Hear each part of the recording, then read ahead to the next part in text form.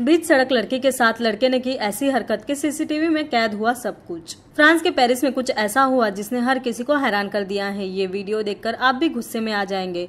बीच सड़क पर लड़की के साथ एक लड़के ने बदतमीजी कर दी, जिसके बाद काफ़ी हंगामा हुआ। दरअसल एक लड़के ने लड़की को थप्पड़ मार दिया।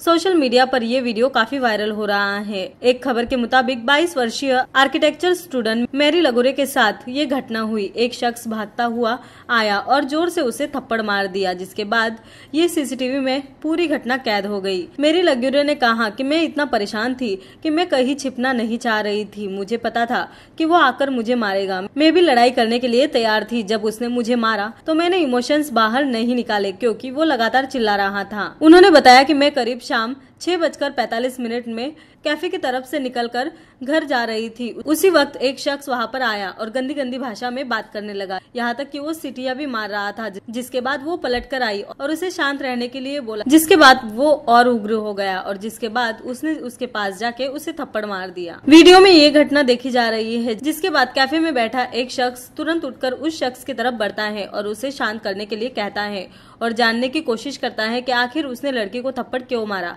उस वक्त लगुरे भी वही मौजूद थी, जिसके बाद दोनों वहाँ से निकल जाते हैं। जिस वक्त ये घटना हुई, उस वक्त वहाँ काफ़ी लोग मौजूद थे, लेकिन एक शख्स के अलावा कोई उनके लिए नहीं उठा।